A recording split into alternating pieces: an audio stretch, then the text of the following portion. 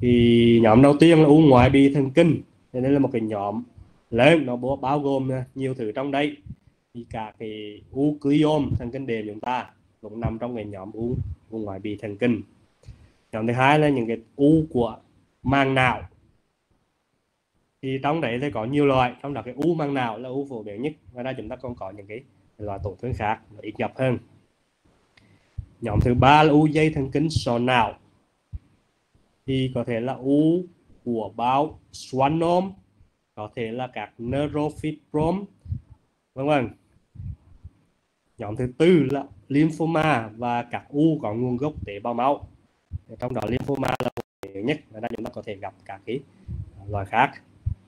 Thứ năm là u tế bào mầm, bao gồm à, teratom, rồi các cái loại kia. Vâng, u của tuyến tùng, u tế bào mầm tuyến tùng thứ sáu là u của vùng tuyến yên.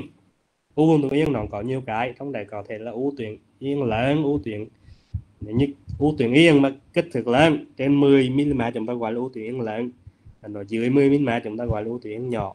Ngoài ra vùng tuyến yên này chúng ta còn có nhiều nhiều cái loại tổn thương khác giống như u sọ hầu chẳng hạn và các cái tổn thương không phải u giống như nang uh, rat nang khe rat uh, vân vân. Thì đây là một số cái u thường gặp ở sáu cái nhóm trên. Những u ngoài vi thần kinh chúng ta hay gặp cái gì? U sao bào. Ờ, sao bào là uh, cái tế bào đệm phổ biến nhất nằm trong uh, trong cái phần uh, nhu mô não. Thì các cái tế bào đệm bao gồm u sao bào bao gồm sao bào hoặc là tế bào ít nhánh nó tạo thành một cái hệ thống nâng đỡ bảo vệ các cái tế bào thần kinh.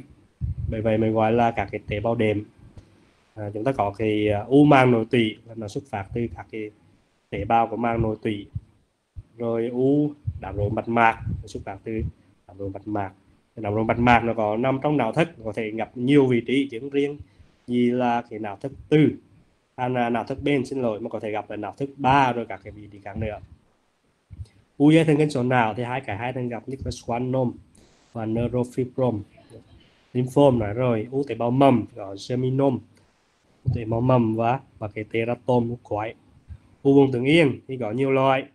Adenoma uh, u sọ hầu craniopharyngioma và đã có thể gặp các cái tổn thương khác mà chúng ta cần chẩn đoán phân biệt ví dụ như là một cái u màng não của hoành yên hoặc là một cái phân mạch nó nằm ở vùng hố yên.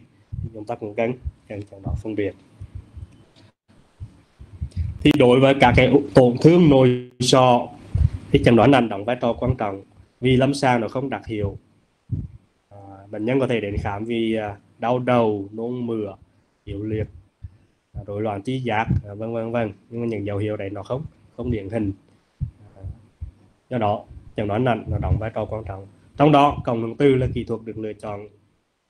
Có thể bệnh nhân được chụp các lợi vi tính trước nhưng mà các lợi vi tính do cái đặc điểm của nó thì phân giải về tổn thương nó không tốt cái contrast giữa nhu mô nào với cả cái tổn thương vân vân nó không tốt như cộng hưởng từ. Nên cộng hưởng từ là cái kỹ thuật à, được lựa chọn để mà đánh giá các cái tổn thương nội sọ này.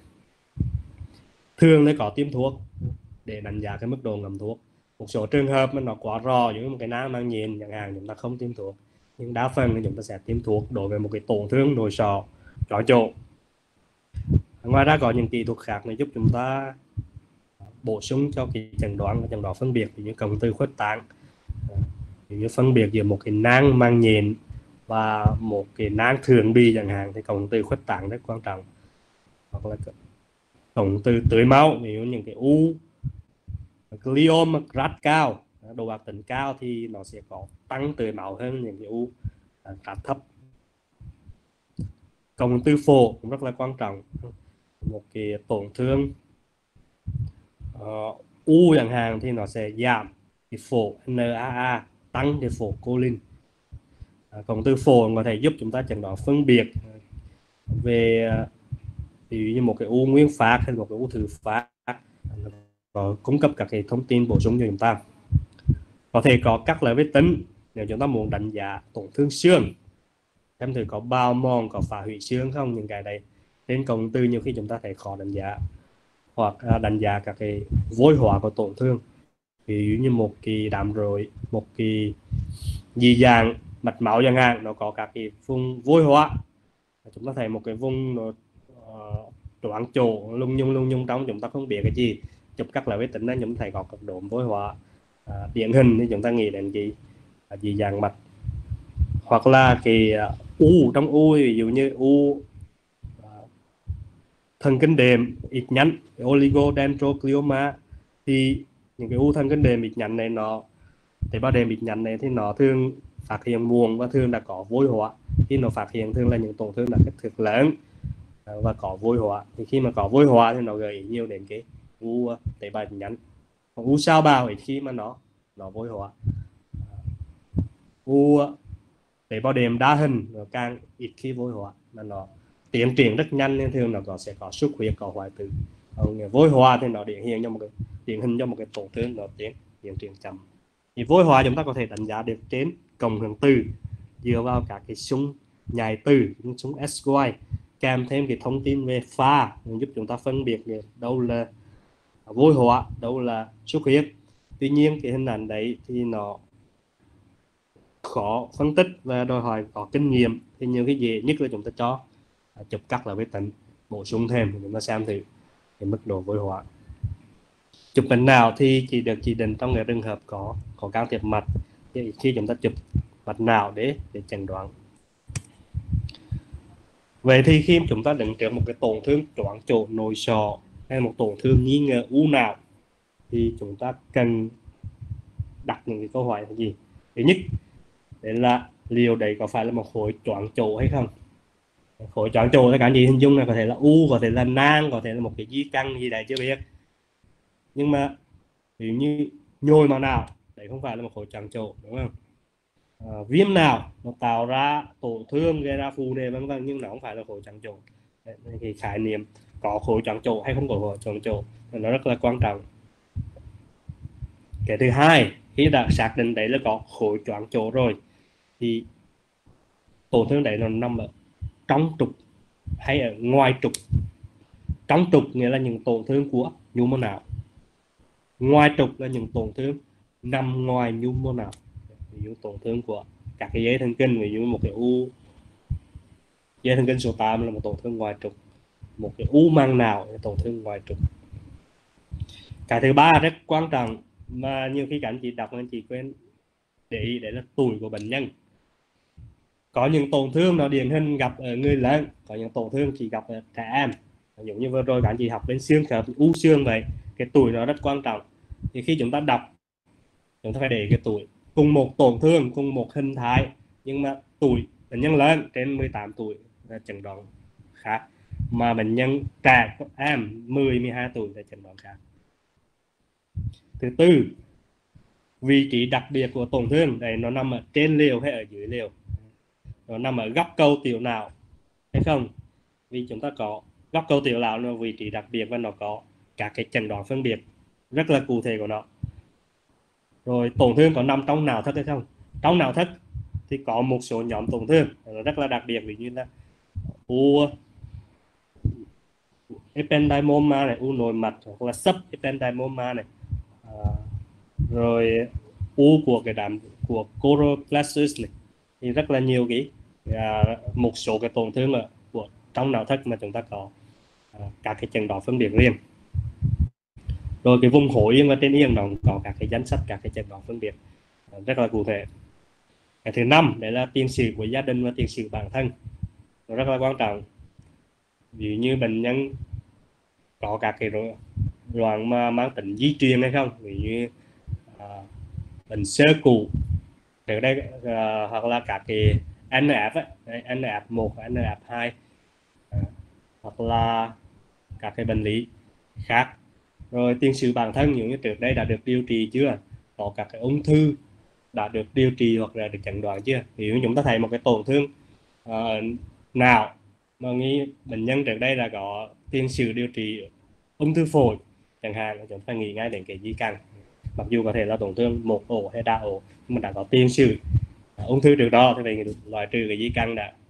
Ờ, các yếu tố dịch tễ ví dụ như bệnh nhân đến từ các cái vùng mà có yếu tố dịch tễ về à, sáng lờn chẳng hạn có những có thể các cái tổn thương nhỏ nhỏ nang nhỏ nhỏ có vôi hóa trên nào thì nghĩ đến cái bệnh lý à, sáng lờn nào à, một số yếu tố nghề nghiệp như, như bệnh nhân à, tiếp xúc nhiều với gia súc vân vân vân vân.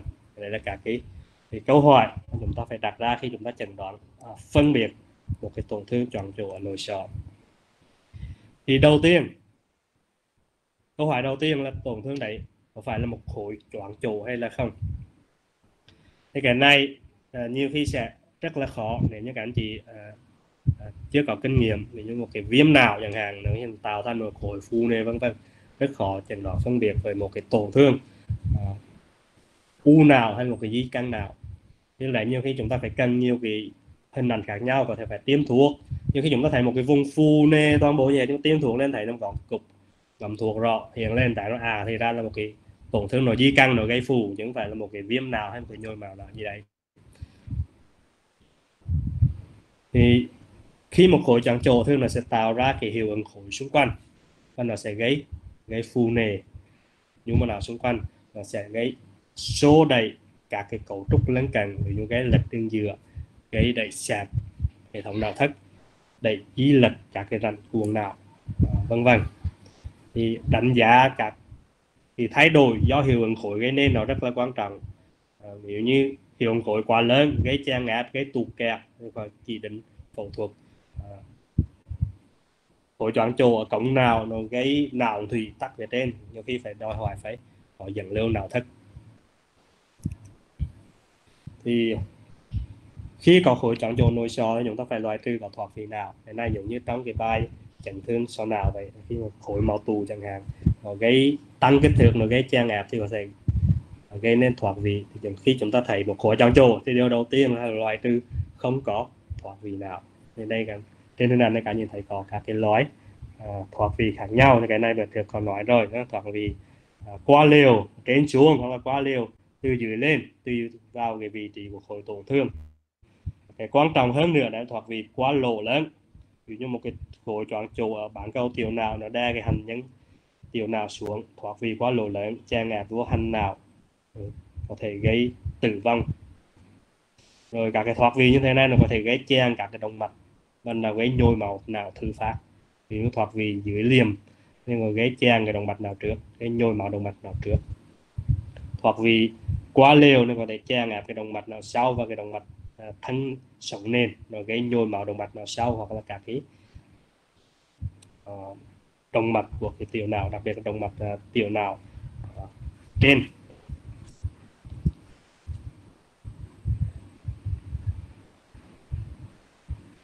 U nào hay một khối choáng chỗ nó thường có kèm phù nề nhũ mô nào xung quanh. Cái phù này nhiều khi nó làm chúng ta khó chẩn đoán. Nếu chúng ta chỉ coi trên một chuỗi sông T2 hoặc chuỗi sông flare chúng ta rất khó phân biệt đâu là một khối u và đâu là cái nhú cái phù não xung quanh. Cũng nhiều khi chúng ta rất khó phân biệt giữa phù của một cái khối choáng chỗ, ví dụ di căn, với cái phù não ở trong cái nhồi màu não. Thì cả nhà chú ý cho cái đặc điểm của phù. Thì phù não thường có có hai loại là phù vần mạch và phù độc tế bào phù vần mạch thường gặp trong chấn thương hoặc là trong các cái khối choáng chỗ như u nào di căn nào và gây rối loạn vần mạch à, phù độc tế bào là thường do nó rối loạn à, chuyển hóa của tế bào thường gặp trong cái à, trong cái nhồi máu não. Thì trong phu vần mạch chúng ta sẽ gặp phu ở chất trắng còn trong phu độc tế bào là do nó rối loạn oxy. À, khi chúng ta thấy thương nó gặp ở chất xám. Trong nhồi máu não các anh thấy? Chất xám là cái vùng sẽ bị ảnh hưởng đầu tiên. Chất trắng có thể bị hoặc không nhưng mà xương sẽ xảy ra sáu sau chất xám. Trong phu vần mạch vì nó phu chất trắng là chủ yếu nên chúng ta sẽ thấy cái dấu hiệu gọi là dấu ngón tay. Nghĩa là các cái chất trắng nó phu nề nhưng cái à, vỏ nào thì nó vẫn còn bình thường còn trong phu độc tế bào thì nó phu toàn bộ cả chất trắng chất xám. Và chúng ta thể thấy mất ranh giới giữa à, chất trắng và chất xám. Hay thấy rõ nhất ở vùng vùng thủy đạo chúng ta gọi là dấu uh, băng rôn thủy đạo hay gặp ở trong nhồi máu não. Nếu các anh chị chụp chuỗi xung diffusion thì thì ở trong phu vận mạch á, thì sẽ không có hạn chế khuếch tán do nước nó nằm ở khoang ngoài vào nó di chuyển một cách uh, tương đối thoải mái nên nó không bị hạn chế khuếch tán. ADC nó sẽ bình thường. Trong cái phu độc tế bào á, do nước từ khoang nội ngoài bào nó đi vào trong nội bào và khi nó ở trong nội bào thì nó sẽ hạn chế khuếch tán. Đồng thời tế bào nó trương phân lên nó làm hẹp các cái khoang ngoài bào do đó sẽ gây hạn chế khuếch tán. Và chúng ta sẽ thấy ADC nó sẽ sẽ giảm để phân biệt giữa u giữa phù vân mạch và phù độc tế bào. Trên này là một cái tổn thương. U ở vùng sừng thái dương à, cực thái dương như thầy phù chất trắng xung quanh. Mà chất xạ ở đây nó còn bình thường. Đấy chính là cái dấu hiệu ngón tay. Các chất trắng nó phu nê nó giống như các cái ngón tay vậy này. Còn phía dưới này là phu độc tế bào chúng ta là phu chủ yếu là chất chất xám vỏ não chất trắng có thể bị nhưng mà sẽ bị sau chúng ta phu như vậy. Như vậy nhìn hai hình thái này chúng ta sẽ biết ngay. Như vậy trên này là do vận mạch do một khối choáng chỗ. Dưới này là nó do rối loạn chuyển hóa của tế bào. Cụ thể ở đây là do nó thiếu oxy nó gây rối loạn cái bơm ATP ở mang tế bào. Đấy, nó gây rối loạn điện dài nước ở trong ngoài bào nó vào trong nội bào nó trướng phân lên. Đấy. nếu các anh chị chụp cộng từ khuếch tán thì phù vận mạch thì nó sẽ bình thường, nó không hạn chế khuếch tán thậm chí nó còn tăng nè còn phù độc tế bào thì chúng ta sẽ thấy nó hạn chế khuếch tán cái này. Nếu có ADC các anh chị đo thì ADC trong trường hợp này nó sẽ sẽ giảm. Như vậy, nhớ lại, nếu có khối trắng trô, có thể có phù nề, nhưng là phù là phù dáng dạng vần mặt, và giúp chúng ta phân biệt về các trường hợp khác, ví như viêm nào hoặc nhồi màu nào thì sẽ là phù phù độc tế bào. Sau khi xác định có một khối choáng chỗ rồi chúng ta loại trừ những trường hợp khác loại trừ nhồi máu nào loại trừ à, viêm nào vân vân. Thì cái, bây giờ câu hỏi tiếp theo là tổn thương choáng chỗ đấy nó nằm ở trong trục hay ngoài trục? Nghĩa là nó thuộc nhu mô nào hay nó nằm ngoài nhu mô nào thì nhìn thì thấy rất đơn giản thực ra cái đấy là một cái câu hỏi khó và nhiều khi trong nhiều trường hợp chúng ta rất là khó để trả lời liệu là tổn thương này là tổn thương ngoài trục hay trong trục. Thì đây là cái sơ đồ mô tả à, đây là vòng vỏ não bình thường ngoài đây là khoang à, dưới nhện và đây là à, màng cứng và vòng sọ. Nếu có một khối choáng chỗ ngoài trục nghĩa là nằm ngoài nhu mô não thì nó sẽ đẩy xẹp cái nhu nó vào trong. Các cái rằn cuồng nào nó sẽ bị đẩy xẹp với một phía giống như cái các cái ngón tay nó bị xẹp lại với một phía vậy.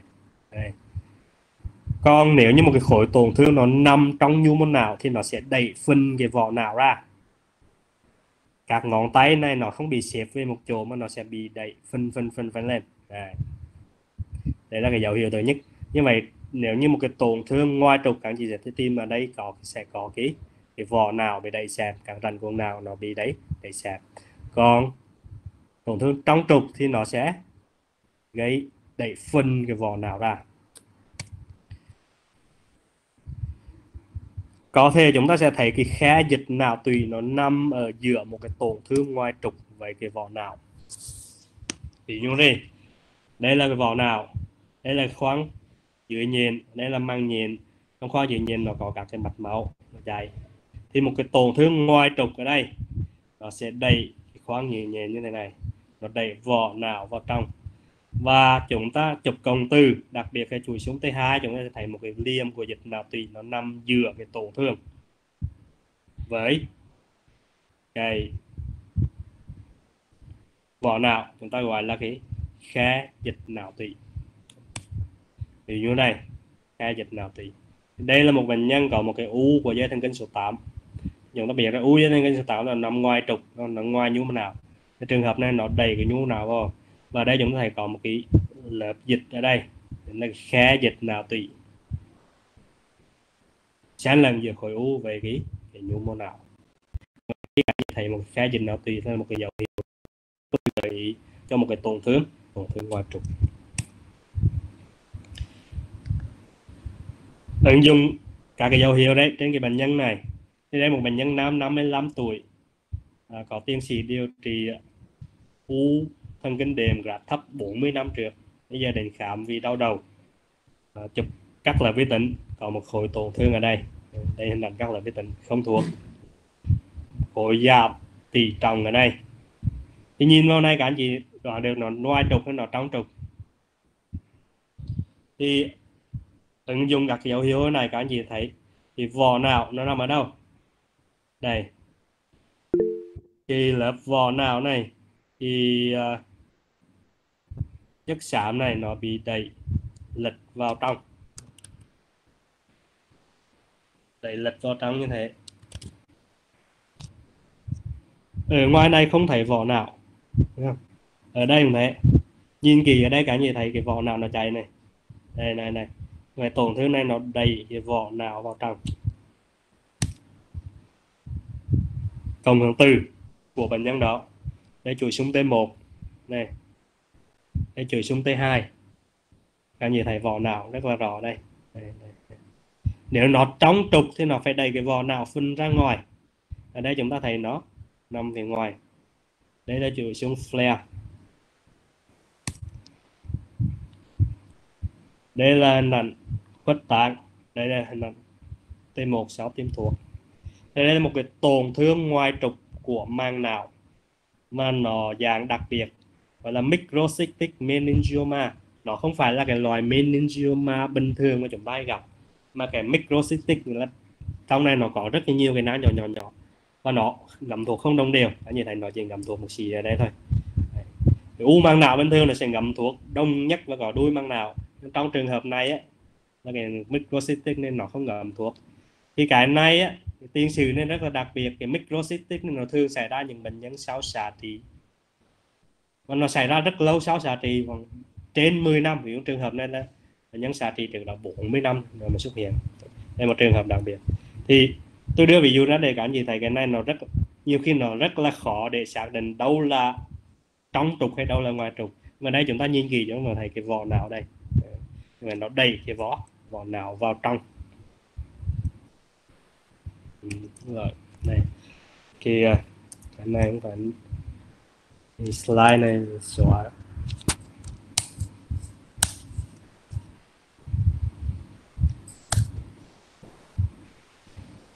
bây giờ chúng ta có cái trường hợp thứ hai. Một bệnh nhân nữ 30 tuổi. Cũng đến khám vì đau đầu. Ở đây là các lớp bên trái lên là các lớp vi tính. À, không tiêm thuốc. Bên phải là hình ảnh sau khi tiêm thuốc chúng ta có một cái tổn thương ở vùng trán ở bên bên phải. Đây. Giảm tỷ trọng. Không đồng đều. Ranh giới thì khá rõ. Bên này, sau tiêm thuốc nên ngầm thuốc cũng thuốc kém. Thì ở đây chúng ta có thấy vỏ não không? Nhìn được cái ranh giới phía trong của tổn thương này, chúng ta không thấy vỏ não vỏ não nó nằm ở đâu ngoài này? Nếu như một tổn thương ngoài trục, nó sẽ đầy vỏ não và chúng ta sẽ thấy một cái đường tăng tỷ trọng của cái chất xám ở đây, nhưng mà trường hợp này chúng ta không thấy. Trên cộng từ như thế đây là chuỗi súng T1 để chuỗi súng T2 để chuỗi súng, flare súng xóa dịch. Thì trên T1 các anh chị thấy rất rõ. Vì sao mà chất trắng nó lại tăng tín hiệu hơn chất xám ở trên chuỗi súng T1 là vì chất trắng nó có chứa nhiều mỡ, thành phần mỡ nó nhiều hơn vì nó chứa nhiều mỡ hơn nên trên T1 nó sẽ tăng tín hiệu hơn. Chúng ta thấy chất giảm nó giảm tín hiệu. Thì chúng ta trên T1 chúng ta thấy rất rõ. Không có cái vỏ nào ở đây, đúng không? Đấy là cái tổn thương giảm tín hiệu này. Nhưng ra đây là chất trắng này như vậy, tổn thương này nó không đẩy vỏ não vào trong. Mà vỏ não nó nằm ở đâu ngoài này rồi. Vậy tổn thương này là tổn thương trong trục. Trên T2 này thấy rất rõ. Đây. rất rõ đây là tổn thương. Điển hình của một tổn thương trong trục thì đây là tổn thương. Astrosarcoma u sao bào mà dạng à, lan tỏa. Như vậy đây là cái RAT 2 thì u sao bào người ta phân ra bốn RAT RAT 1 thường gặp là cái pilocytic astrosarcoma nghĩa là u sao bào lông. À, cái loại diffuse này là lan tỏa nên là RAT 2 RAT 3 là cái anaplastic astrosarcoma còn RAT 4 là RBM à, là glioblastoma multiforme thì RAT 1 RAT 2 là lành tính RAT 3 ác tính RAT 4 nữa là rất ác tính. Thì uh, RBM RAT 4 thì nó tiên lượng rất là xấu tử vong trong vòng khoảng 6 tháng. Đó là cái câu hỏi thứ hai trong trục hay ngoài trục? Câu hỏi thứ nhất là có chọn chỗ hay không? Câu hỏi thứ hai là trong trục hay ngoài trục? Bây giờ câu hỏi thứ ba là tuổi của bệnh nhân thì trong chẩn đoán là chúng ta cái tuổi nó rất là quan trọng. Vừa rồi các bạn học xuyên kể và bạn thấy rồi. Bây giờ trong thần kinh nó cũng thế. Có những bệnh nó điển hình gặp người trưởng thành. Có những bệnh khác nó điển hình nó gặp ở người người trẻ.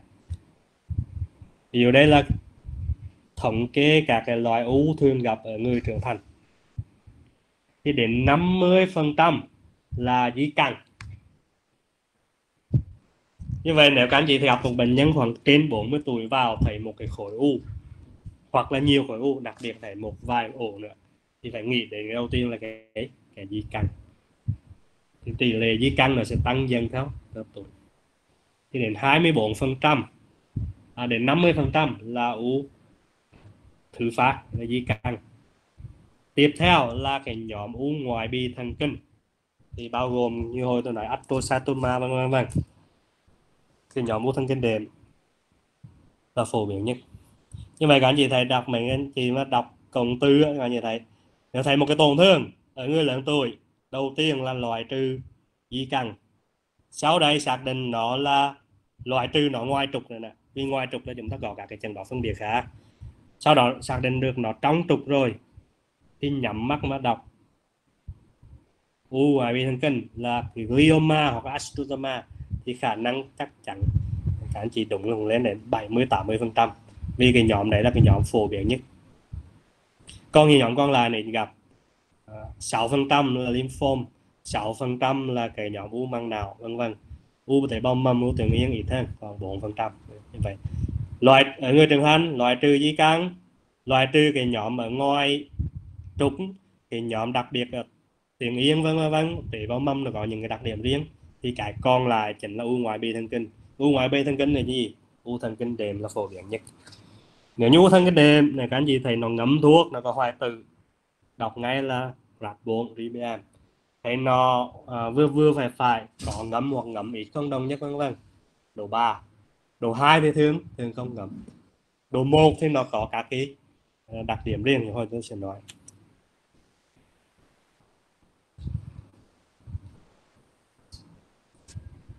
À, độ 3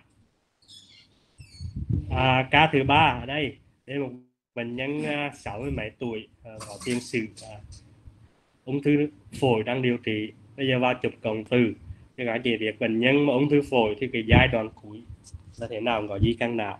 Chúng ta thường chụp cộng từ để tìm di căn thì đây là bệnh nhân có di căn nào? Thì cái di căn nào đặc biệt là nó sẽ có nhiều cái à, tổn thương đau cả như thế? Đây đây đây xuống này flare này. T2 T2 T1 còn ngầm thuốc. Có một điểm đặc biệt để tôi nhắc trong này, đấy là đối với những bệnh nhân mang chỉ tìm di căn nào thì luôn luôn có tiêm thuốc. Vì có những cái tổn thương nó sẽ không phát hiện được trên chuỗi xung, không tiêm thuốc. Ví dụ cái tổn thương ở đây, các anh chị thấy, so sánh hai chuỗi xung nó cùng bằng một cách. Đây là chuỗi xung T2 đây chuỗi xung T1 sau tiêm thuốc. Và cái tổn thương ở đây chúng ta thấy rất khó chẩn đoán nó phù nề một xì xì ở đây là cái mũi tên đen này. Nhưng mà so sánh tên dưới xung T1 chúng ta thấy nó ngầm thuộc. Vậy điển hình là những cái tổn thương di căn nhỏ nằm ở khoáng dưới vỏ khu vực dưới vỏ thì nó sẽ không gây phù nề nhiều nên chúng ta rất dễ bỏ sót trên chuỗi xung T2 thậm chí trên flare chúng ta cũng thấy à, những cái tổn thương phía dưới này nó phù nề nhiều như thế này thì chúng ta hãy chẩn đoán rất là dễ nhưng mà tổn thương ở khu vực dưới vỏ này, rất dễ bỏ sót. Nếu không tiêm thuốc tiêm thuốc vào chúng ta thấy nó ngầm rất rõ. Vậy, nhớ cho, muốn tiêm di căn, thì thứ nhất là phải chụp cộng hưởng từ. Thứ hai là phải tiêm thuộc đổi quang từ. Nếu anh chị không tiêm thuộc đổi quang từ, rất dễ bỏ sót. Nếu anh chị chụp cắt lời tính, càng dễ bỏ sót hơn nữa. Vì những cái phù nề rất kín đáo, rất khó phát hiện trên các lớp vi tính. Ở trẻ em thì thế nào?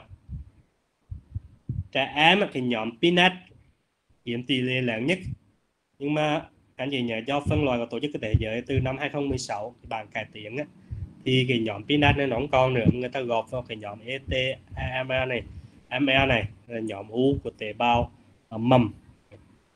Thì cái này có một chút thay đổi. Tuy nhiên là nhiều tác giả sau này người ta đọc và người ta vẫn cứ đọc peanut peanut theo một thói quen. Nhưng mà bên giải phẫu người ta đã đã đổi. Ờ, ở trẻ em hay gặp u u sau bào lông đặc biệt là vùng vùng hồ sau. Các cái nhóm khác.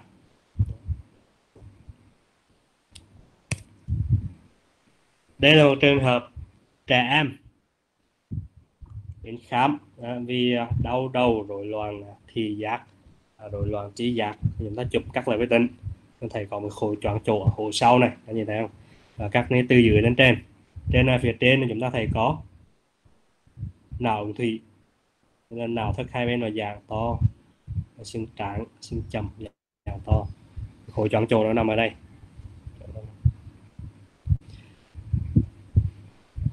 Thì ở một trẻ em một tổn thương, ở hồ sau thì còn nó có một số cái chẩn đoán phân biệt nhất định.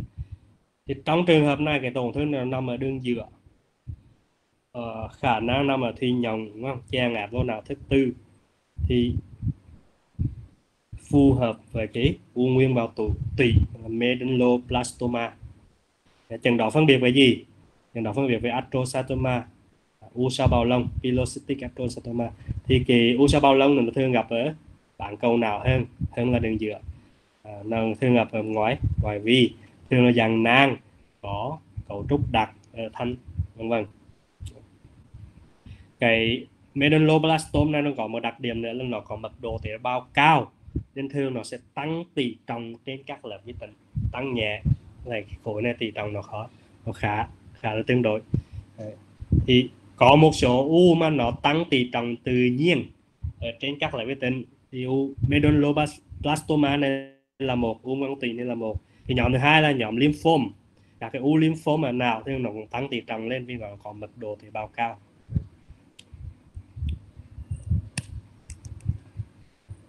Bây giờ chúng ta có câu hỏi thứ tư. Là vị trí của tổn thương nó nằm ở đâu? Nó trên liều hay dưới liều nó nằm ở cổ yên hay là quanh yên hay là không? Nó nằm ở trong nào thức hay không?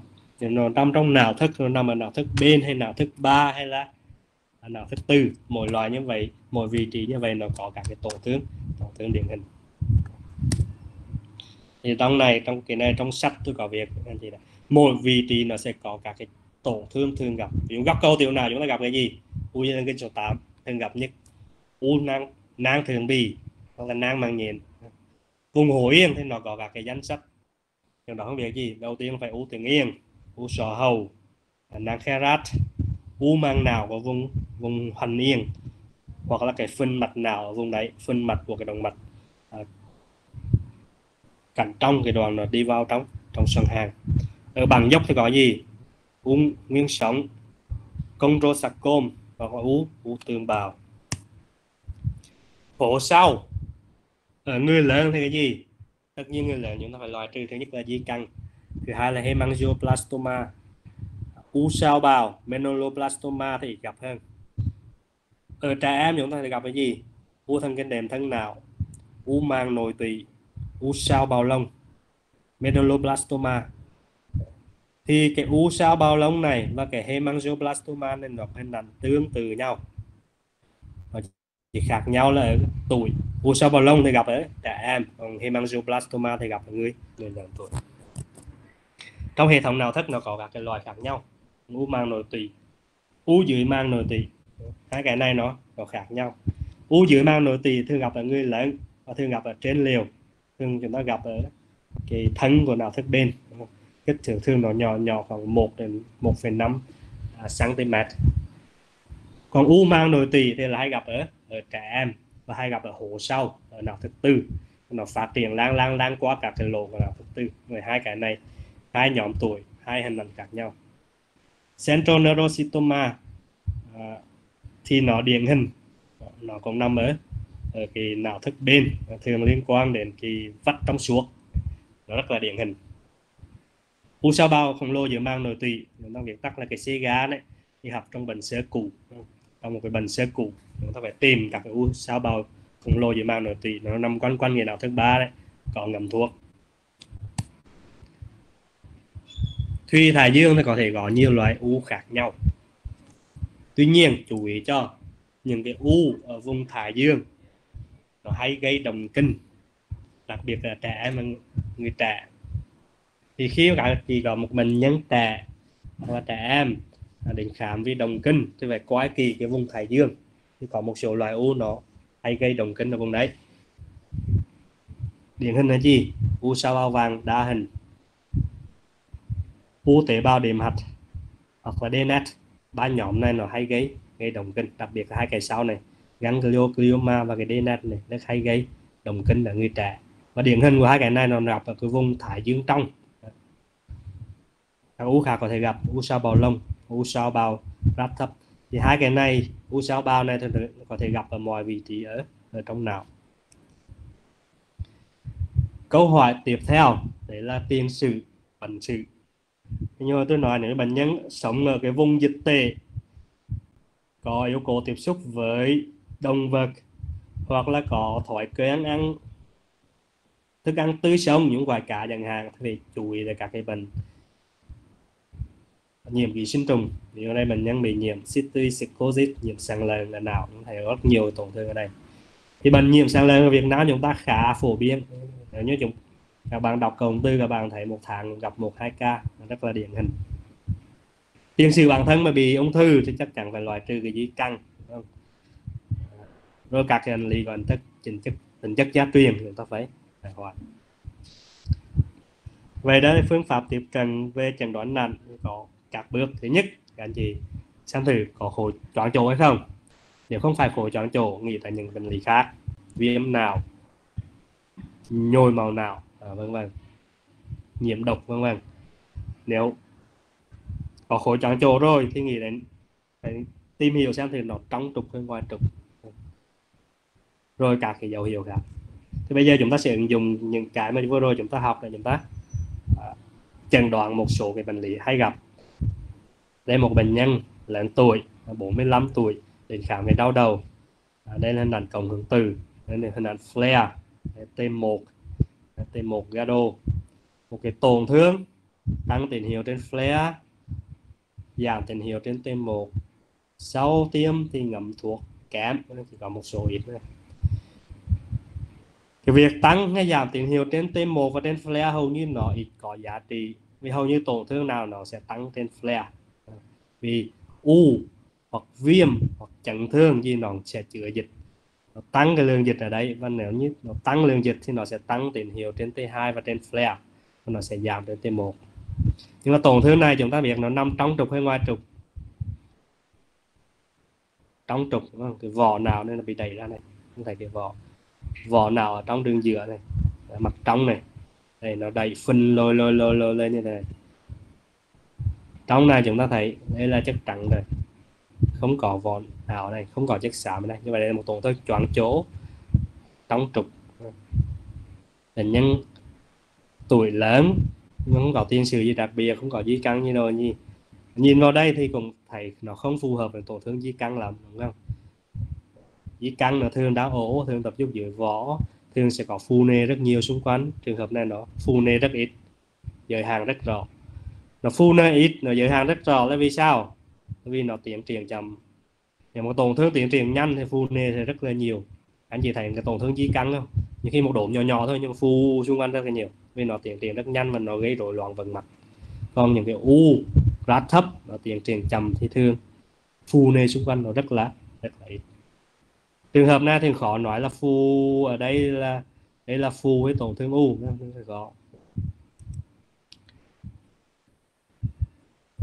với áp dụng cái phương pháp vừa rồi chúng ta chẩn đoán ấy. thứ nhất là u có khối trắng trồ nè thứ hai là nó trong trục nè vị trí thì nó trên liều nè nó đơn độc chứ không phải đá ồ nè.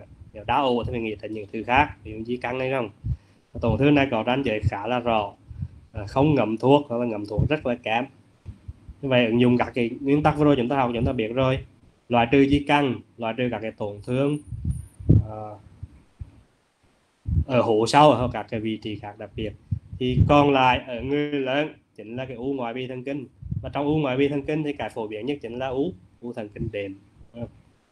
Nếu như không ngậm thuốc thì được rạch thấp, ngậm thuốc mạnh rạch cao, có hoại tử nó nữa rạch bốn. Anh chị nhớ cho.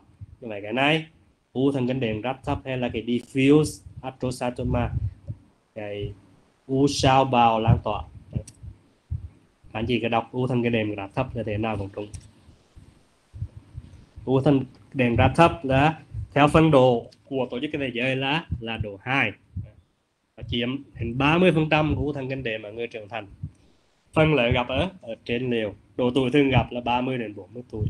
Tiên lượng thì khá tốt, thời gian sống trung bình 7 năm. Các lợi với tình có đặc điểm gì? Thương nó giảm tỷ trọng, ranh giới sẽ không rõ. Vôi hóa có thể gặp, nhưng mà thường ít, dưới 20 phần trăm. Nang ít gặp. Sau tiêm càng quang thì thường là không ngậm thuộc nếu như có ngậm thuộc mạnh thì cảnh giác là cái biến đổi thành cái rat 3 là cái anaplastic. Cộng từ như thế giảm trên T1 tăng trên T2 chẩn đoán phân biệt, cần phải chẩn đoán phân biệt rat 2 thì chẳng đó phân biệt rat 3 của u sao bào à, không biệt hóa anaplastic. Thì rất là khó. Nhiều khi phải cần người nhà hậu bệnh. Trên hình ảnh nhiều khi chúng ta không à, không phân biệt được. Nếu như có ngấm thuốc có phu nê nhiều nghĩ đến cái anaplastic. Còn lại chúng ta nghĩ đến cái, cái u rat 2 phân biệt với nhồi máu là vì nó, nó giảm tín hiệu nó tăng tín hiệu trên flare lan tỏa. Thì nhiều khi chúng ta phải phân biệt với nhồi máu thì nhồi máu nó sẽ theo vùng tuổi máu. Nếu như một cái nhồi máu ở câu nào này, nó sẽ có cái giới hạn là đường giữa, nó sẽ bị một bên rồi. À. còn trường hợp nó tắt hai bên thì khác thì nó phải bị đều cả hai bên. Còn trường hợp nó bị một bên thì nó phải cái ranh giới nó cắt ở giữa rất là rõ. Còn trường hợp này nó lan lan lan ra hết. Vậy, ít nghĩ đến nhồi máu. Cần việc nữa thì chụp thêm cộng từ khuếch tán qua trên sung khuếch tán thì cái u thân cái nền rạch thấp này thường nó không giới hạn khuếch tán còn nhồi màu giai đoạn cấp, chắc chắn sẽ có giới hạn cấp tạng chẳng đó phân biệt về viêm nào? Đúng không chúng ta qua cái trường hợp tiếp theo. Cùng một bệnh nhân bốn mươi mấy tuổi đến khám vì đau đầu. Đây hình ảnh cộng hưởng từ cũng vậy, một cái khối choáng chỗ nằm ở vùng trán và thái dương bên bên phải. Giảm trên T1 tăng trên T2 cháu tim thì không? Không ngầm thuộc. Giảm trên T1 đây đây hình ảnh flare T2 tăng tín hiệu trên flare và trên trên T2 không không ngầm thuộc. Thì u sao bào không biệt hóa thì như hồi tôi nói, u sao bào không biệt hóa thì rất là độ ba đấy rát 3 đấy, thì rất khó phân biệt về cái rat 2 chúng ta nhiều khi chúng ta phải cân báo và phụ bệnh. U sao bao không biệt hóa nó chiếm khoảng 25 phần trăm các u thần kinh đệm độ tuổi cũng tương tự như thế. Nó có xu hướng tiến triển thành rạch bốn là u nguyên đều bao điểm đa hình. Và thời gian thời gian sống trung bình thì thấp hơn khoảng 16 tháng.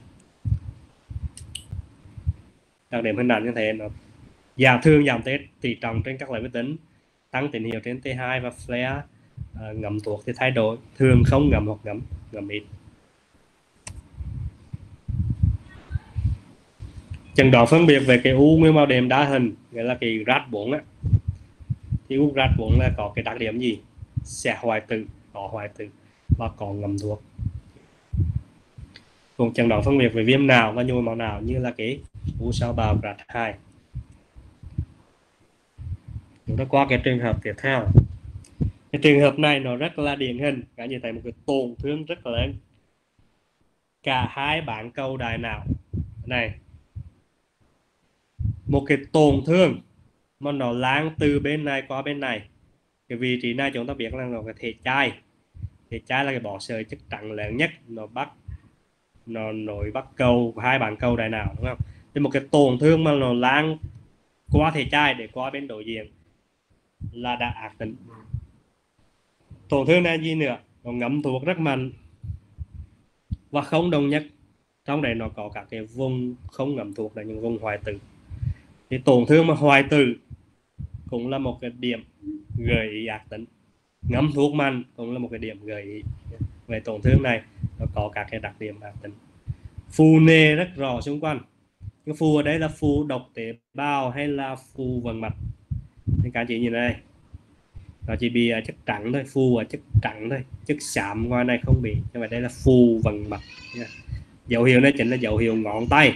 Các cái ngón tay của chất trắng ừ, như này này như này như cả cái ngón tay. Còn cái chất xám ngoài là bình thường. Nó khác về trong nhôi màu nào. Nhưng màu nào nó sẽ phu toàn bộ cái chất xám này. Cái phu này là do phu vần mạch do cái khối tròn chỗ u này. Cái này u nguyên bao điểm đa hình là theo phân độ của tổ chức thế giới là, là độ 4 là 4 thì u nguyên bao đệm đa hình có thể là u nguyên phát ngay từ đầu chẩn đoán đã là u bao đệm đa hình hoặc là u thứ phát nó tiến tiền sau cái u sao bào rạp thấp. Thì tôi có làm một nghiên cứu hồi trước làm ở bên Đức.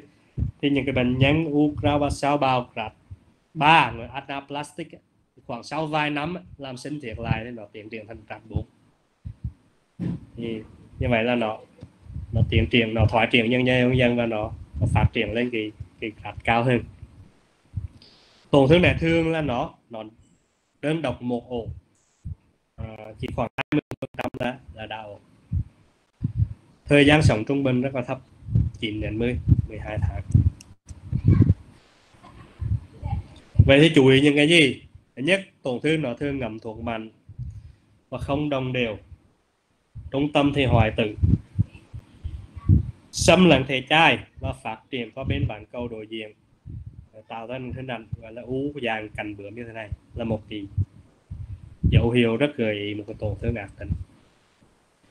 Vì nó tiến triển nhanh nó ác tính thì thường nó có xuất huyết.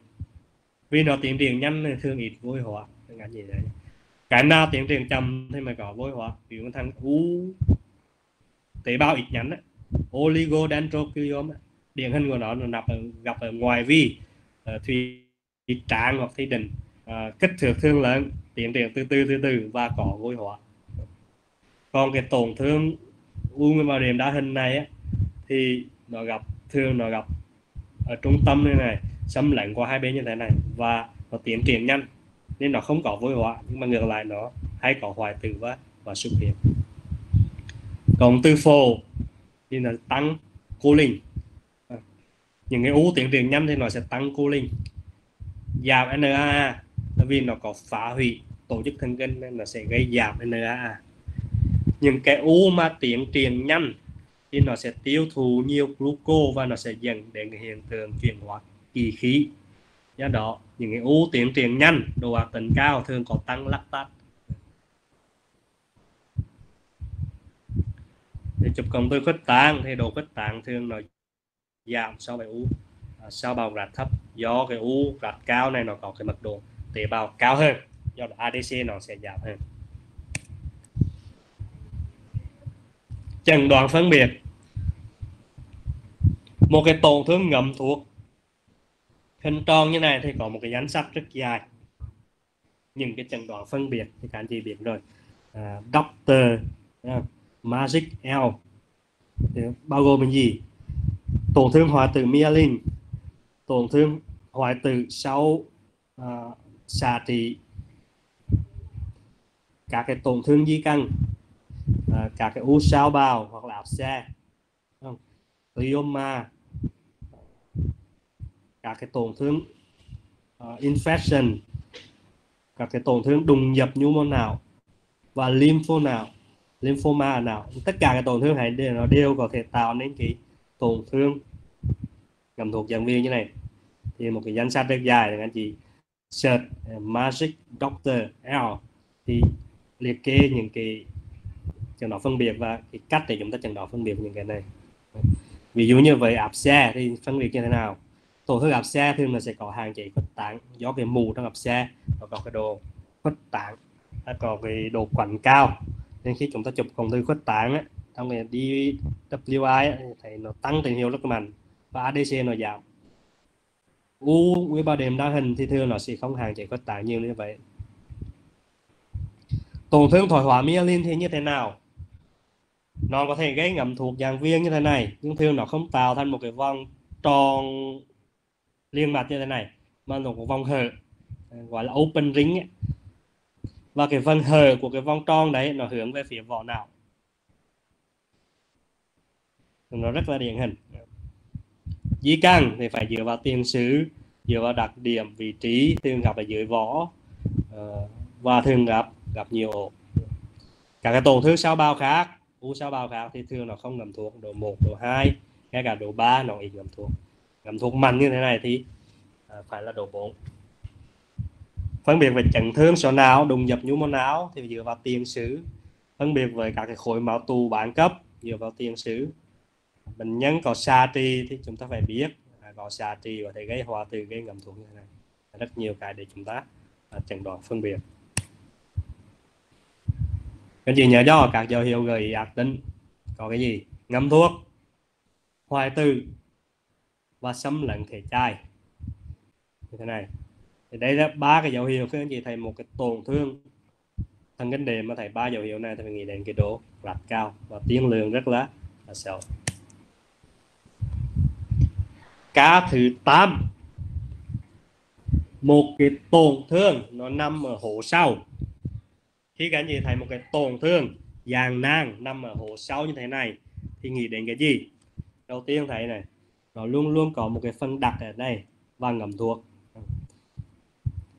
thứ nhất, tổn thương này là tổn thương trong trục, rất là rõ dạng nang dịch, đa phần là dạng nịch, dạng nang dịch, có một phân đặc ở đây, bám thanh và ngầm thuộc như vậy trận đoán phân biệt chỉ có hai cái thôi.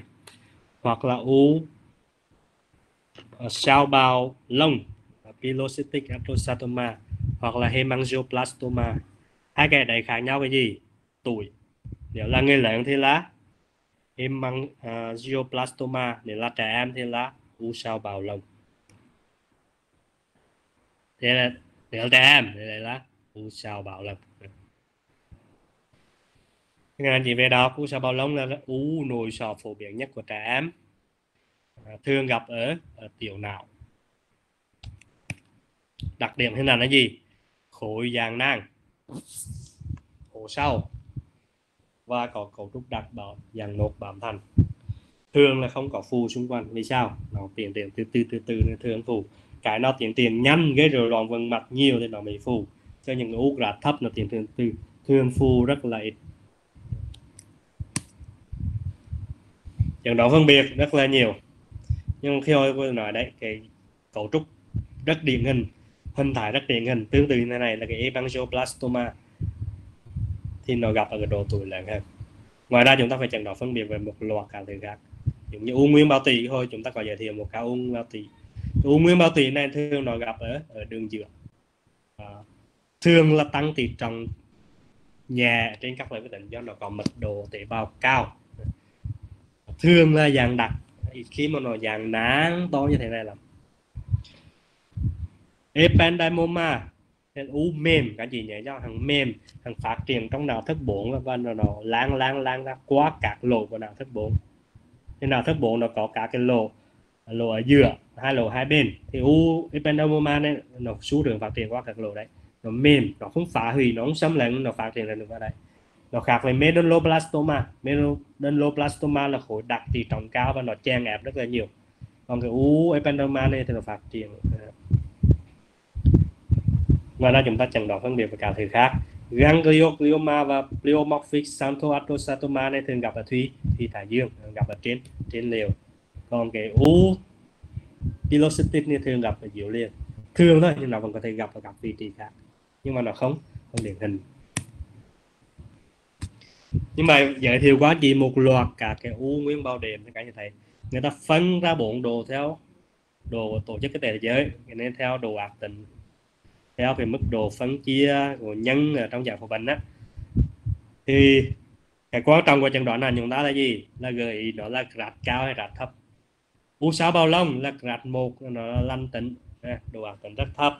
Nhưng rồi chúng ta thấy, thì hình ảnh nó điển hình rồi. U63 dự mang nội tỵ cái siga này gặp trong bệnh sơ cũ cũng rất là điển hình. Còn là chúng ta có các cái nhóm U63 bao. Lãng tố rạch 2 thông biệt hóa, rạch 3 u nguyên bao đệm đa hình, rạch 4 thì cái nhóm đa hình này thì nó rất là điển hình, nó có hoại tử, nó có xuất huyết, nó có ngấm thuốc mạnh nó xâm lấn thể chai vân vân thì đọc là độ 4 còn lại, cái tổn thương Ờ, giới hạn thường không rõ ngầm thuộc ờ, rất là ít, không điển hình vân vân thì các anh chị đọc cho u ra vào là thấp. Nếu còn bằng những chỗ nào nó bắt đầu nó ngầm thuộc thì nghi ngờ có những cái tổn thương thoái triển ác tính. Bây giờ chúng ta qua một cái nhóm khác, cá thứ 9 tổn thương này nhìn vào các anh chị biết ngay nó trên trong trục hay ngoài trục? Ngoài trục, đúng không? Vỏ nào nó bị đẩy vào đây, các anh chị nhìn trên cái, xa cái tay nghe thấy đây. Thì chất xám vỏ nào nó bị đẩy vào đây. Đấy. thì một tổn thương choáng chỗ mà ngoài trục là một câu chuyện khác, đúng không? Thì trong cái nhóm ngoài trục thì điển hình nhất là, phổ biến nhất là u u màng não u màng não thì có những cái dấu hiệu gì giúp chúng ta chẩn đoán u màng não cái đầu tiên là một khối choáng chỗ ngoài trục. Như vậy loại trừ những thứ trong trục hết còn lại ngoài trục. Thì cái u măng não nó có một số đặc điểm gì? Thứ nhất nó ngậm thuốc khá là đông nhất. Ca khi hồi ngậm thuốc rất mạnh. Ca này ngậm thuốc rất mạnh. Trừ cái trường hợp đầu tiên mà tôi giới thiệu với anh chị cái dạng u măng nào dạng microcytic thì cái này thường nó không uh, ít gặp ở bệnh nhân bình thường mà chỉ gặp ở những cái nhóm bệnh nhân xấu sau xạ trị. Còn ở nhóm bệnh nhân à, bình thường không có tiền sử xạ trị thì chúng ta dẹp cái dạng này u măng não điển hình. Và ngậm thuốc rất đồng đều. Các anh chị để cho trong các u măng não trong đa phần trường hợp chúng ta sẽ thấy cái vị trí cái mạch máu nuôi nó đi lên như một cái cây mạch máu như thế này. Thì cái này nhiều khi nó rất là hữu ích giúp chúng ta chẩn đoán phân biệt về cái u măng nào về các cái u khác. Ví dụ một cái gliom chẳng hạn. U thần kinh đệm nhiều khi chúng ta không biết nó trong trục hay ngoài trục, trường hợp nội lợn nội xâm lợn, vân vân. Mà chúng ta thấy thì cái mạch máu nó đi vào như thế này thì đây là màng não u màng não còn người tổn thương gliom thân ngân đệm thì ngầm thuộc lan tỏa hết. Ờ, mạch máu nó lan tỏa tân sinh nhiều vị trí, nhưng không có một cái cây vào như thế này. Dấu hiệu thứ hai là gì đuôi màng cứng. Cái màng cứng kể cần nó dày lên và nó ngậm thuộc mạnh chúng ta gọi là dấu hiệu đối màng cứng trên các là vi tình cái u măng nào nên thường nó tăng tỷ trọng. Thì đây là cái u thứ ba tiếp theo mà nó tăng tỷ trọng tự nhiên đến các là vi tình thì hồi tôi nói có hai cái cái nhất là cái medulloblastoma cái thứ hai là cái lymphoma, cái thứ ba chính là cái u màng não thì những ba cái u này thường nó tăng tỷ trọng đến các loại vi tính do nó có mật độ tế bào cao. Những cái u còn lại nó sẽ giảm tỷ trọng đến các loại vi tính còn một số trường hợp ngoại lệ thì dần dần tôi sẽ nói. À nhưng mà đây cả như thấy như tổn thương rất rõ năm nằm ngoài trục, ở đây có cái kha dịch nào tùy ở đây.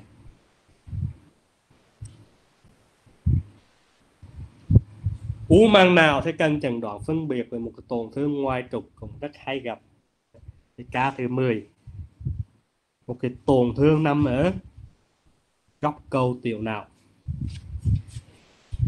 trong thần kinh nó có một cái vị trí rất là đặc biệt, chúng ta gọi là góc cầu tiểu não. Thì trước đây là cầu não, sau này là tiểu não. Cái góc này là góc tạo ra giữa cầu não và tiểu não, nên gọi là góc cầu tiểu não. Chẩn đoán phân biệt về góc cầu tiểu não này rất là khó.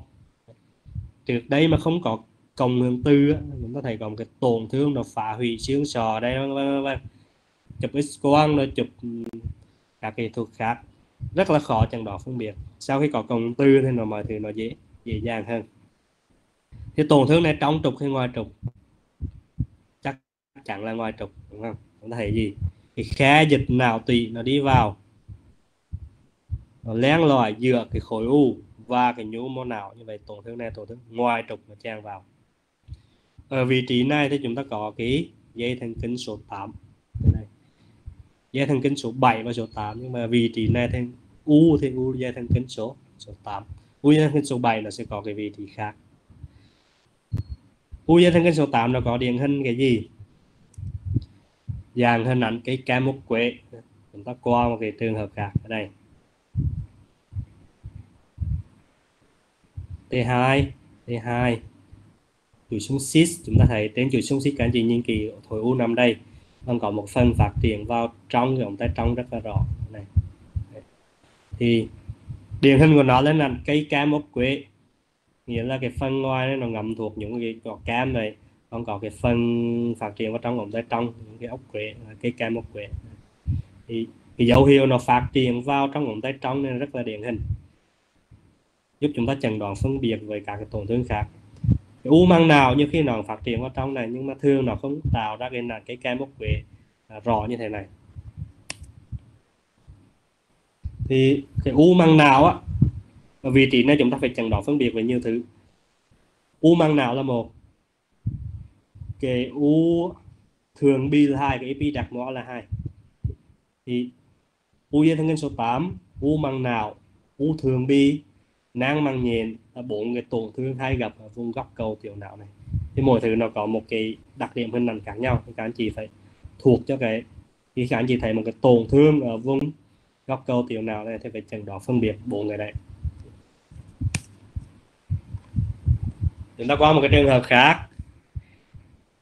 Trường hợp này nó nằm ở một vị trí rất điển hình là hổ yên đúng không? Tổn thương rất là lớn ở đây đây chuỗi súng.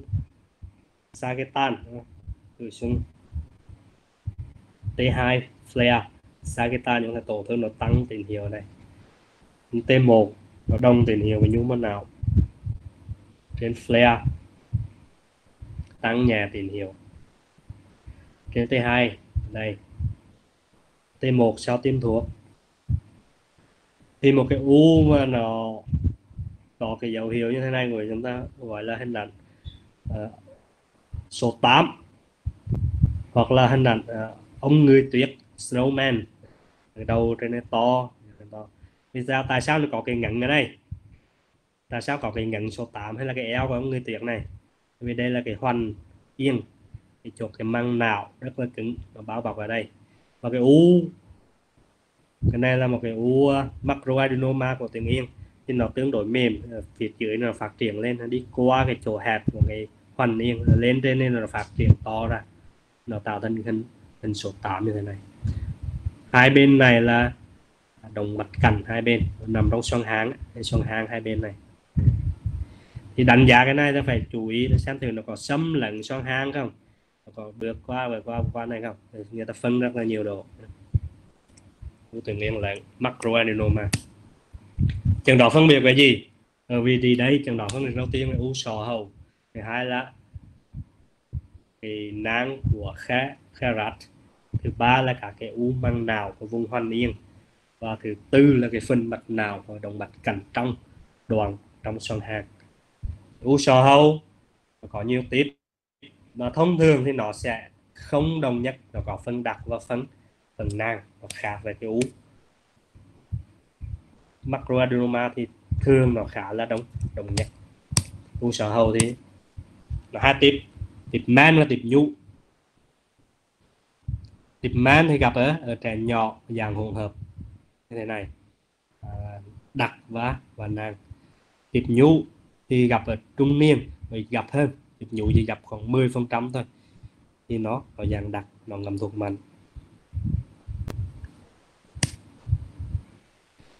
u tuyến yên lớn và u tuyến yên nhỏ thì nó bằng chất về mô học là nó giống nhau chỉ khác nhau về kích thước thôi. Nếu nó dưới 10 10 mm chúng ta gọi là u tuyến yên nhỏ. Thì phát hiện u tuyến yên nhỏ rất là khó. Chúng ta cần gọi chuỗi súng đặc biệt là chuỗi súng dynamic. Chúng ta tiêm thuộc đội quang tư vào chúng ta chụp các chuỗi súng dynamic à, T1 à, coronal qua cái vị trí tuyến yên này. Chúng ta chụp liên tục từ trước khi tiêm đến khi tiêm. Khi thuốc nó vào vào vào hoàn thải dần ra. Thì chúng ta biết cái nhu mô tuyến yên nó ngầm thuốc rất mạnh còn cái u nếu có thì nó sẽ ngầm thuốc chậm hơn. Do đó trên chuỗi sung dynamic chúng ta quay từ khi trước tiêm thuộc đến khi vào dần dần thuộc nó vào dần, thì chúng ta sẽ thấy thuộc nó đi vào qua cái cuộn tự nhiên này. Đầu tiên chúng ta thấy cuộn tự nhiên là sáng lên cái thuộc nó sẽ tỏa tỏa tỏa tỏa ra, nó ngầm ngầm ngầm ngầm ngầm ra. Đều rằng là như thế nào. Riêng nếu như có cái microadenoma thì chúng ta thấy có một cái vùng nó không ngầm thuộc cái trần đoán rất khó và trần đoán tỷ lệ chẩn đoán nhầm rất cao. Thì đa phần chúng ta đọc thầy có cái vùng mơ mơ mơ mơ không ngầm thuộc, chúng ta phải đọc microadenoma, nhiều khi không chính xác. Nếu bệnh nhân không có tăng prolactin, bệnh nhân không có triệu chứng gì cả thì phải hết sức cẩn thận.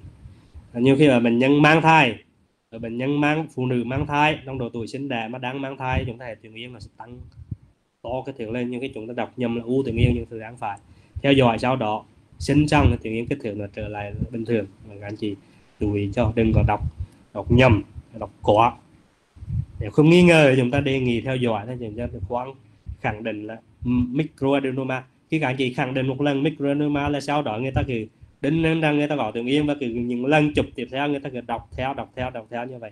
Nhiều khi tôi tôi gặp rất nhiều trường hợp, trước đó người ta cứ đọc là microadenoma để khi mình chụp lại có thể có lui thấy cũng có đấy ngậm thuốc điều đằng bình thường rất là nghi ngờ những người lần trước người ta đọc như thế nào. Ca tiếp theo, ca thứ 12 ca kể cuối. Chúng ta có 13 ca trong cái bài này. Thì đây một bệnh nhân đến khám vì đau đầu. Chụp các lợi vết tinh chúng ta thấy tổn thương, giảm tỷ trọng ở thùy thái dương này thì một cái tổn thương đây hai bệnh nhân khác nhau, mà có một cái đặc điểm hình ảnh giống nhau. Thì một cái tổn thương giảm tỷ trọng ở đây. Ranh giới rất rõ tỷ trọng nó tương đối là tỷ trọng dịch. Chúng ta cần có các cái chẩn đoán phân biệt gì? Thì cái điển hình nhất là cái cái nang màng nhện. Và ra chúng ta chẩn đoán phân biệt cái gì? Nang thường bì. Nang thường bì nó chứa dịch nhiều lipid, nó cũng giảm tỷ trọng như thế này thì cái nang bằng nhện đầu tiên nói về nang bằng nhện, thì nếu như anh chị nghi ngờ anh chị chụp cộng hưởng từ. Thì cái nang bằng nhện nó chứa dịch có tính chất tương tự như là dịch não tủy. Như vậy một cái nang bằng nhện nó sẽ giảm tín hiệu trên T1 tăng tín hiệu trên T2 sẽ xóa dịch hoàn toàn trên flare. Trên diffusion khuếch tán nó sẽ không hạn chế khuếch tán tiêm thuộc vào nó sẽ không ngầm thuộc chẳng đó phân biệt về năng thường bi thì năng thường bi nó có đặc điểm gì? Năng thường bi nó chứa dịch nhiều lipid.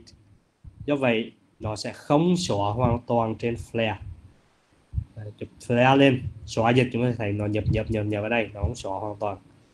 Chụp khuếch tàng thì nó sẽ hạn chế khuếch tàng rất rõ.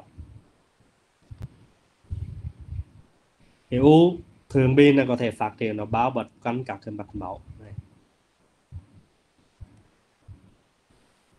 thì đây là cái bảng so sánh giữa nang mang nhện và nang thường bì. Cái này trong sách tôi có việc để tôi cọc trong sách. Thì dựa vào gì? Tỷ trọng. Trên các lợi với tính thì cái tỷ trọng này nhiều khi nó khó à, nói.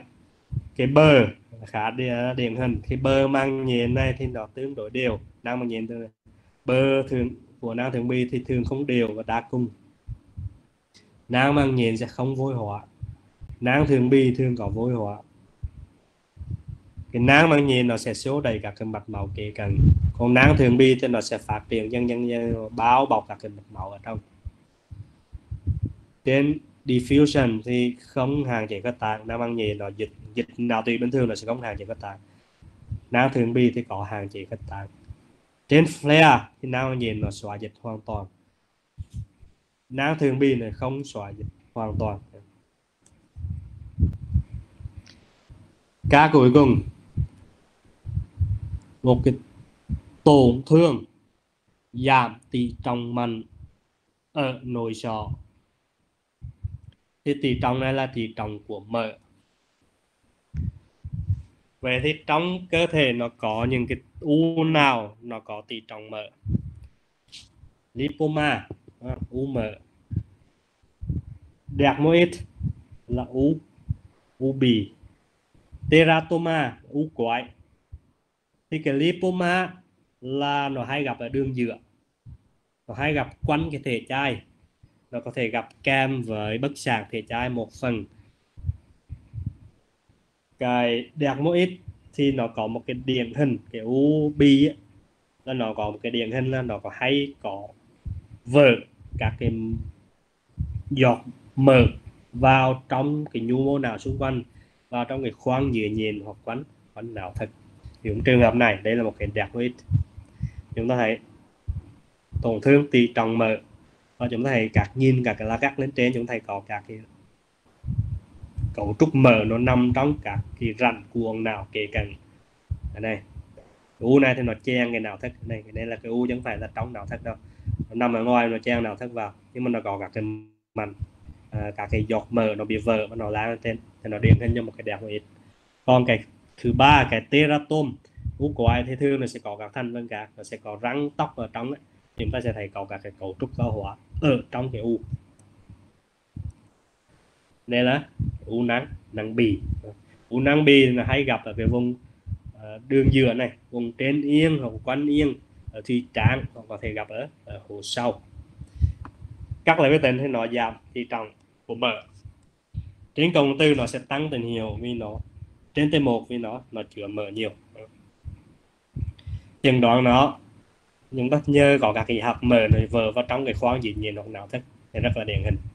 À, chừng đoạn phân biệt với các cái tổn thương hồi này tôi nói những lipoma thì nó thường gặp ở đường giữa à, và liên quan đến thể chai. Epidermoid như hồi tôi nói rồi là cái nang nó hay gặp ở cái vùng góc cầu tiểu não vân vân teratoma, như hồi nói thường là còn thêm các cái thành phần khác, có tóc bẩn có vôi hóa vân vân. Cấu trúc nó không đồng nhất. U sò hầu thì gặp ở vùng vùng trên yên, như hồi tôi nói, nó có hai thể. Như vậy, tôi đã giới thiệu qua các anh chị cái phương pháp chúng ta tiếp cận. Chỉ là phương pháp tiếp cận thôi. Đấy. còn đi sâu vào từng loài các anh chị thấy có nhiều thứ. Nhưng mà khi các anh chị thấy một cái khối u khối chọn chỗ nội sò thì à, anh chị phải bước theo từng bước một. Thứ nhất có chọn chỗ không chọn chỗ thứ hai trong trục hay ngoài trục? Trong trục là khác ngoài trục khác mỗi cạnh có những cái chẩn đoán phân biệt khác. Đấy. tiếp theo là những cái đặc điểm kia. À, thì để kết thúc cái bài này thì cái quan trọng là gì? Thứ nhất tổn thương chọn chỗ nó rất là đa dạng và nó có Ờ, nhiều cái đặc điểm hình ảnh cũng như là đặc điểm giải phẫu khác nhau. Thì các anh chị cần nắm vững các cái nguyên lý của kỹ thuật tạo ảnh để có thể phân tích được tổn thương. Bây giờ chúng hồi nãy chúng ta nói rất nhiều về các cái loại tổn thương à, về rất nhiều các loại kỹ thuật cũng từ diffusion chúng ta nói về flare chúng ta nói về T1 T2 chúng ta nói về spectroscopy vân vân. Thì các anh chị phải hiểu hết tất cả các nguyên lý đấy. Chúng ta nói về SY vân vân các anh chị phải hiểu để mà vận dụng nó. Vì sao cái này nó tăng tình hiệu vì sao cái kia nó giảm tình hiệu vì sao cái này là vôi hóa mà không phải là xuất huyết. À, vân vân vân thì cái đấy nó thuộc về phần phần kỹ thuật. Cái thứ ba là các anh chị phải tiếp cận một cách hệ thống. À, thứ nhất tên tuổi vân vân vân vị trí trong trục ngoài trục có các tiền sử bệnh sĩ gì đặc biệt vâng, vâng. để chúng ta từ một cái rất nhiều những cái chẩn đoán phân biệt. Bây giờ chúng ta khu trụ dần dần dần lại nhóm tuổi vị trí à, tiền sử bệnh sử vân vân vân chúng ta sẽ khu trụ lại. Và à, loại trừ những cái tổn thương những cái chẩn đoán phân biệt mà nó nó không phù hợp. Cái tiếp theo là các anh chị phải làm quen với những cái tổn thương thường gặp. Như tôi nói cái u thì nó rất là nhiều nhưng chỉ có một số nó thường hay gặp thôi. Ví dụ ở người lớn bệnh nhân 40 45 tuổi mà anh chị loại trừ những cái u ngoài trục rồi anh chị loại trừ cái uh, di căn rồi thì cả con lại nó còn rất ít. Và cái nhóm u thần kinh đệm là lớn nhất. Thì u thần đệm nó có những cái điểm đặc biệt của chúng ta thấy đó theo từng cái phân độ. Thì các anh chị làm quen với những tổn thương như thế ví dụ như ở ngoài trục ngoài trục ở góc cầu tiểu não thì cái hay gặp nhất là cái u thần kinh số 8 mà chúng ta biết u thần kinh số 8 nó hình thái như thế nào thế nào. Cách chẩn đoán u thần kinh số 8 với những cái loại khác. Hoặc là một cái u ngoài trục ở vị trí khác thì cái hay gặp chứ là măng nào u măng nào có những cái gì à, đặc điểm như thế nào và chẩn đoán phân biệt với những cái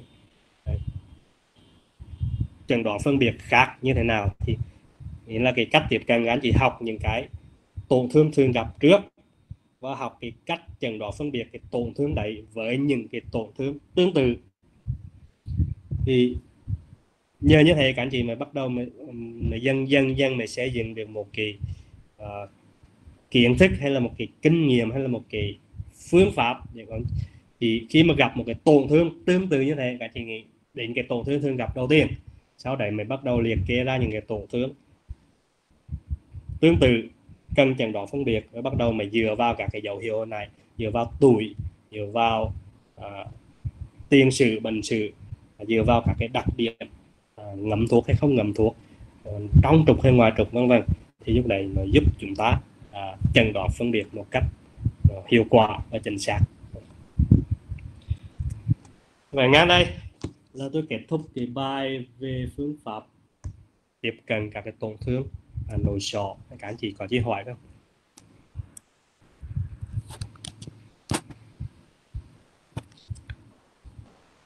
về cái phần thân kinh sẽ còn à, rất nhiều. À, bài tiếp theo tôi đang suy nghĩ à, tiếp biệt thì có nhiều lựa chọn. Thứ nhất là các cái tổn thương của vùng hốc mắt thứ hai là các cái tổn thương của vùng hầu thứ ba là tổn thương của tủy sống. Rồi à, các cái tổn thương khác của não ví dụ như là các cái tổn thương u thường gặp ở trong đồng kính chẳng hạn. Thì à, dần dần cứ một tuần như vậy chúng ta sẽ nói về một cái à, chủ đề. Thì, nay đây các anh chị có chị hỏi không? Được